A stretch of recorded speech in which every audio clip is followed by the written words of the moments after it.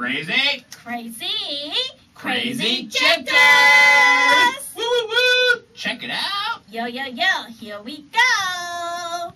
What are you planning to do this vacation? What are you planning to do this vacation? What are you planning to do this vacation? What are you planning to do this vacation? What are you planning to do this vacation? 네,